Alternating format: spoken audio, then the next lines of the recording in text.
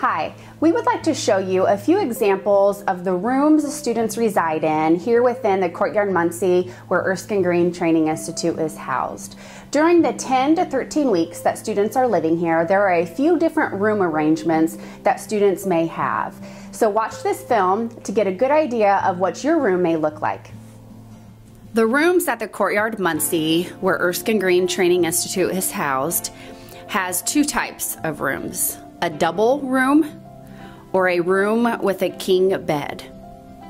Students who select to have a roommate will be housed in a room with two double beds.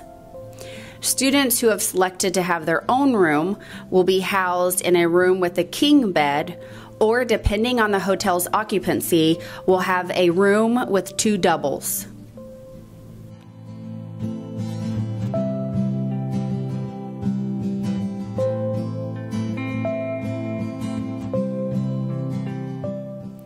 Each room has one microwave, one refrigerator, and then two cubby spaces underneath where students can choose to store clothing, shoes, whatever may fit within that space. The rooms within the hotel have two different structures of bathrooms. One structure has the bathtub Another structure has a walk in shower. The hotel also has wheelchair accessible and hearing impaired accessible rooms for students who may benefit from this type of structure. In a wheelchair accessible room, the bathroom has a roll in shower.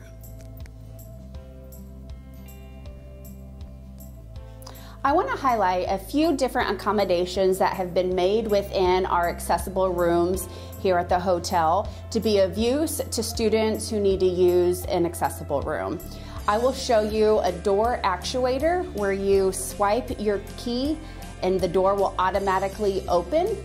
Um, I will also highlight a door button that we have so individuals who are hearing impaired and they can't hear the knock of a door by housekeepers or guests um, they can press this button and it will make a light go off in the room.